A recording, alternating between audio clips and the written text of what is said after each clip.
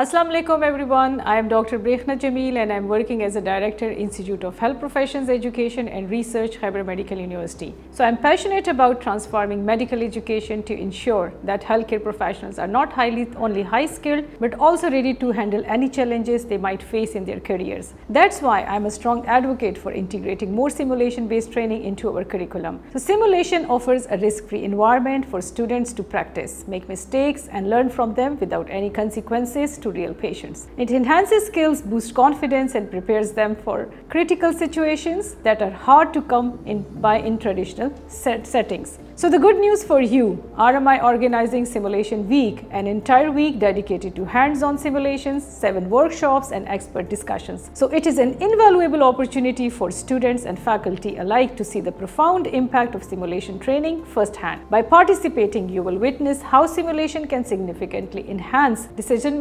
teamwork and patient outcomes. So join RMI in making healthcare education more dynamic and effective. So let's prepare our future medical professionals not just to respond but to excel. So what are you waiting for? Register now.